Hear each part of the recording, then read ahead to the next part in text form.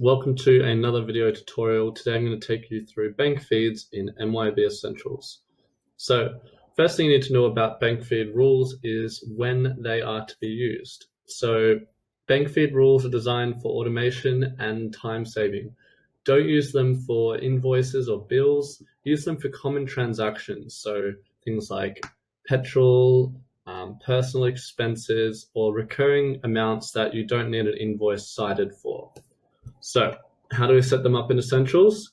First thing you want to do is go to your unallocated transactions down the bottom right, or banking and bank transactions. So when we go in there, we look at our unallocated transactions. So what I'd look for is common transactions, generally expenses, that I can knock off with a rule.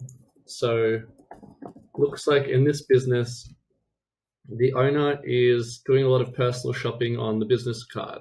So what I'm going to do is set up a rule whenever it says shopping and it's an expense, then it's going to allocate that to the owner drawings. So I don't have to individually code every single one. So what I do is click on the drop down arrow and then create rule. Once you start creating the rule, all you'll need to do is fill in the details from top to bottom, left to right. So the rule name will be shopping, I'll call it personal, and we'll make the rule apply when the description contains shopping. Now I wouldn't put shop or a specific shop, keep it as something that is unique to those personal ones like shopping. The account is owner drawings, and then we save. Great. So now what you'll see is if I type in shopping, they've all been dealt with. So all we need to do is go to our allocated transactions and you'll see that this money has already been allocated for us. So whenever a personal transaction relating to shopping has gone through, it's automatically applied the rule. Now, when a rule has been applied, Essentials will show a wand and it tells you that this has been allocated via a rule.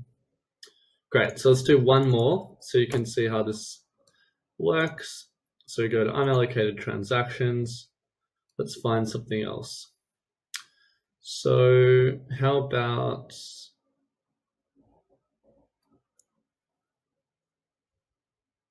we'll go with water.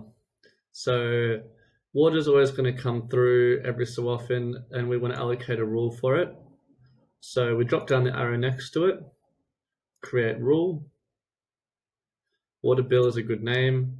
And we'll say when the description contains water, we're going to allocate it to that account. Now, there's a water expense account in here, and we check to see whether there's GST or not, if applicable for your business save that. Now what you'll see is that will be allocated.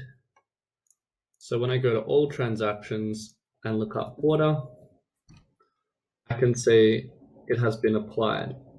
Now, in this example here, you can see maybe the water filter was not relating to this bill. We didn't want it to pick up filter as well. You can adjust the rule to be more specific.